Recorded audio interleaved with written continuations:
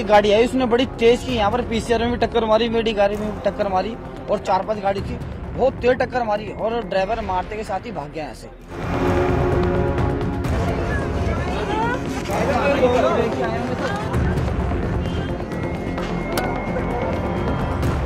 मैं आवाज़ सुनकर आया तो मैंने देखा, ये होंडा सिटी खड़ी यहाँ पर। होंडा सिटी और स्विफ्ट डिज़ायर इन दोनों का एक्सीडेंट हुआ है, जो कि एक गाड़ी इस रोड से आ रही थी, सीधी एक गाड़ी इधर से आ रही थी। यहाँ पे कोई सिग्नल चालू नहीं है। इसकी वजह ये हो सकती है और थोड़ी सी ओवर स्पीड शायद इन लोगों की।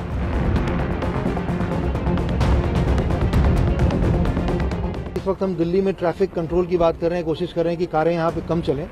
लेकिन कारें कम चलें, प्रदूषण कम हो, लेकिन स्पीड न बढ़े।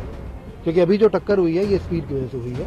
और रात गए, इतनी चौड़ी सड़कों पर, अगर हम सिर्फ़ ब्लिंकर से काम करें तो मुझे नहीं लगता कि वो एक कोई सॉल्यूशन है। हमको ब्लिंकर्स की जगह रात को यहाँ पे सिग्नल्स का इस्तेमाल करना बेहद ज़रूरी है।